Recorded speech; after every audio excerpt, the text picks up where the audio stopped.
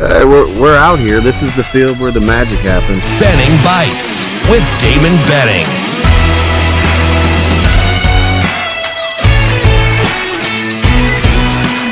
Benning Bites with Damon Benning. Uh, it's another Ah, episode of Benning. Bites. Appreciate you.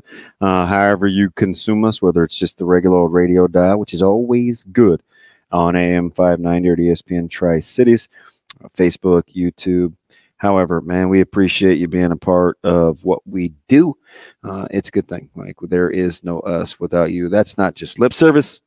We truly, truly mean it. And a lot of you fine folks are happy that the bites are back. So now I just have to be responsible and hold up my end of it good luck to us.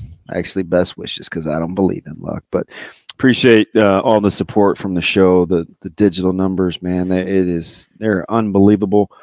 Uh, so we we appreciate it. Um, give my main man at Ravi Lula a follow.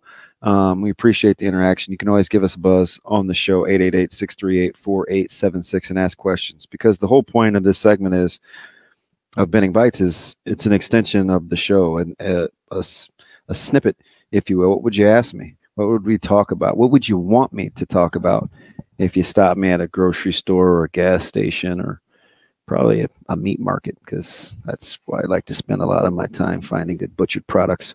But uh, I say all that to say, you know, I got a chance to to go down to Lincoln uh, yesterday.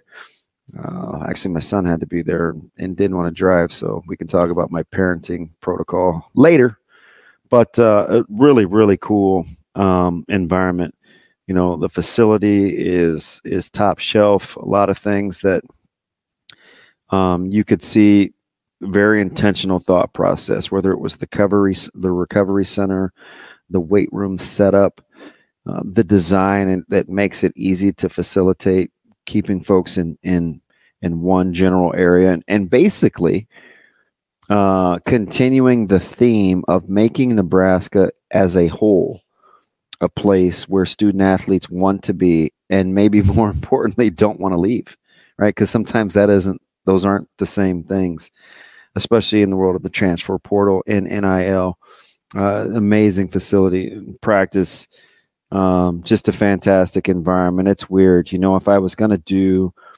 like a book or a study of of seeing all the varying degrees of Nebraska football over the last 20 years. And, you know, one of the chapters was immediate feel uh, in a practice environment. Uh, for me yesterday, it would be intense. Like you could feel, you could feel a sense of urgency that I felt like, whether it was birth from the competitiveness, maybe it was people's demeanor, maybe it was the movement. Um, it, it was very intense. And I felt like the, the cool thing about it was there was this blend of, um, it's not necessarily good natured, but people are very um, approachable. Uh, or, or and, and even more so authentic, right? It's hey, this is how it goes. This is the standard. Feel free to be a part of it. Or that was the same message that would be conveyed to players. Hey, this is the standard. This is what we're doing. Feel free to be part of it. So the ownership aspect that is is kind of um, I guess prompted, but goes along with and fits with how you do business or how they're going to do business and what the standard is, is a really cool blend. You can own being a part of the greater good, right? It's it's it's a it's a very cool dynamic, and you know, just uh, a a culture in which is going to allow people to thrive if you can become secure with who you are, and and it's a lot like you know going down to the to the coaches clinic here shortly.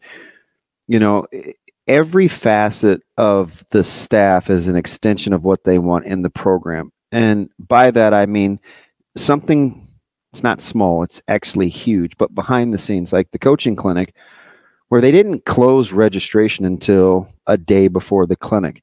They are at huge numbers, could have close to 900 to 1,000 coaches.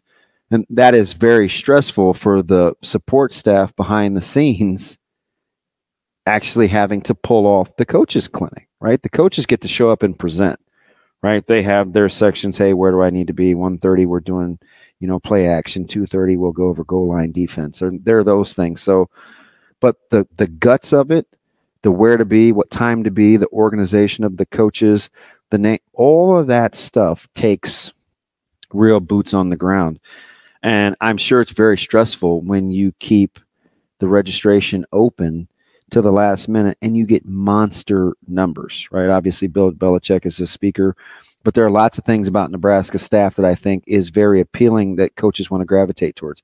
Hey, how does he set the culture so quickly in his first year? Hey, why is he known for rebuilding and reshaping programs? Hey, what is it about this defense that it allowed that it allowed them to play at a at a respectable level from a year ago. All those things that coaches want to know about. So when you combine that with the ability to pull in a guy like Bill Belichick, that commands immediate respect. But it does stress your support staff. And I know what he would say to the support staff. They'd say, "Hey, coach, what you know, we need to get our arms around the numbers." And what Coach Rhule and uh, is going to say is, "Hey, you guys figure it out, right? We need to make this work. We don't want to tell anybody no. We're all encompassing. We're all about development.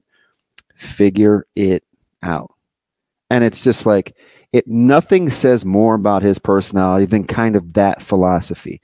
Hey, we have different kinds of players. Hey, this is what we're inheriting. Hey, this is the new plan and the layout for recruiting. Oh, this is our new practice schedule. We used to uh, hey, don't want to hear about what you can't do. Figure it out. These are the parameters in which we're going to work under to be a part of this staff. I've done the best that I could do to identify the the talent that may fit, but it's up to you. Figure it out. It's not always going to be rainbows and butterflies. You have got to be able to adjust on the fly. Because I think for Coach Rhule and this staff, it's a lot like kind of this seemingly non-linear point that I'm making about the camp, and it is we're here to do a job. There are going to be things along the job, whatever it is your role is, that may not be according to script. You cannot blink. Remember what our principles are and who are we as an entity. Apply those things and make it work. We clear? Oh, got it, coach. And I think all of that promotes a, a culture in which it's it, it, I call it the don't blink culture, where if you have an environment that you function in and that you're asked to function in, in which you may have to to hit a curveball and you don't know it's coming over time you learn to just be able to adjust to whatever the pitching sequence is. Now it's extremely difficult to hit a baseball. We know that.